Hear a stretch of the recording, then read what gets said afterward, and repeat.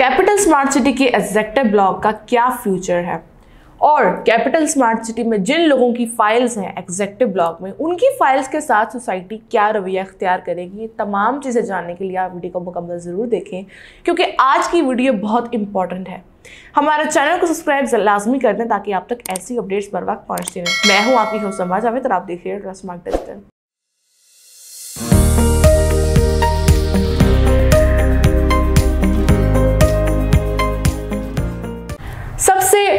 चीज़, सबसे इंपॉर्टेंट चीज़ ये कि कैपिटल स्मार्ट सिटी के एग्जेक्टिव ब्लॉक का फ्यूचर इतना ब्राइट कैसे है? तो चले, सबसे पहले हम इसके डेवलपमेंट की बात कर लेते हैं।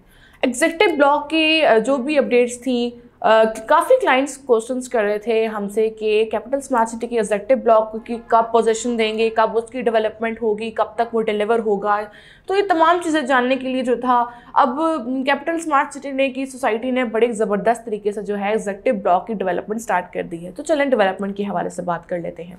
तकरीबन 700 से 800 की मशीनरी कैपिटल स्मार्ट सिटी की मैनेजमेंट ने सिर्फ़ और सिर्फ़ एग्जेक्टिव ब्लॉक में लगाई हुई है। तो आप सोचें कि दिन रात एक करके ये लोग डेवलपमेंट कर रहे हैं। 24 घंटे 24 घंटे की में जो है डेवलपमेंट मैक्सिमम डेवलपमेंट और मैक्सिमम एफर्ट्स लगा के सोसाइटी जो है एग्जेक्टिव ब्लॉक को डेवलप कर रही है। आप खुद सोचें कितनी जल्दी जो है ये एग्जेक्टिव ब्लॉक को डिलीवर कर देंगे। और एक्सपेक्टेड है कि within three and six months तीन से छः माह के अंदर अंदर लोगों को कब्जा देना शुरू कर देंगे लोगों को पोजेशंस मिलना शुरू हो जाएँगी। इससे बड़ी और बड़ी खुशखबरी की बात क्या हो सकती है?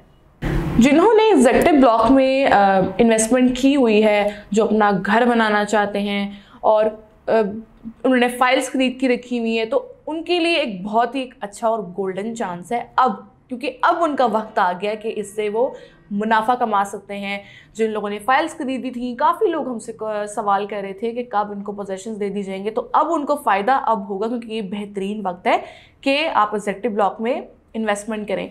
और इस तरीके से अगर हम चलें अगर हम उसके हवाले से बात करते हैं फाइल्स के हवाले से बात करते हैं तो अब सवाल ये आता है कि हमने फ़ाइल्स खरीदी हुई हैं एग्जेक्टिव ब्लॉक में तो क्या हमारी फ़ाइल्स को किस तरीके से ट्रीट किया जाएगा?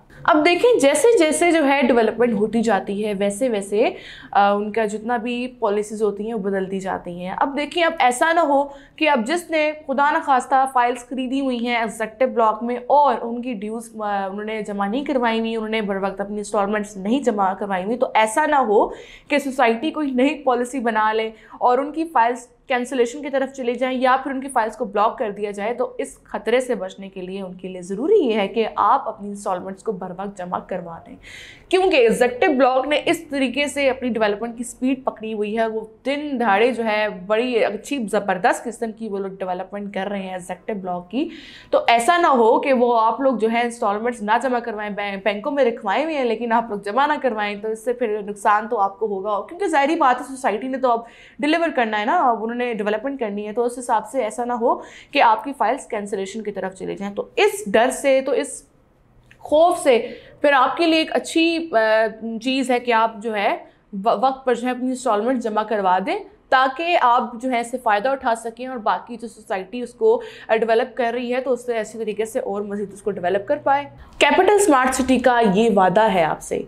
आप सब मेम्बरान से कि एग्जेक्टिव ब्लॉक को वो इस तरीके से ही डेवलप करेंगे जिस तरीके से उन लोगों ने ओवरसीज़ ब्लॉक को किया और, और उतने ही वक्त में कम वक्त में उसको डिलीवर करेंगे जिस तरीके से उन्होंने ओवरसीज़ ब्लॉक के साथ उनकी कमिटमेंट है। इसी तरीके से एक अच्छी अपॉर्चुनिटी है आपके लिए एग्जेक्टिव ब्लॉक में जो जिन लोगों ने इन्वेस्टमेंट की है उनको तो बहुत फ़ायदा होने वाला है आगे फ्यूचर में।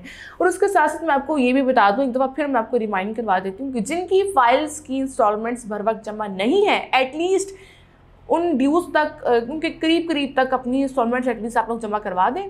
क्योंकि कैपिटल स्मार्ट सिटी या कोई भी सोसाइटी ऐसी है, वो तो अपने सीरियस मेंबर्स को ही साथ लेके चलती है। इसलिए नॉन सीरियस मेंबर्स को वो निकाल देती है। ऐसा ना हो कि आपकी फाइल्स को कैंसिल कर दिया जाए, इसलिए आप अपनी ड्यूज़ को मुकम्मल कर दें।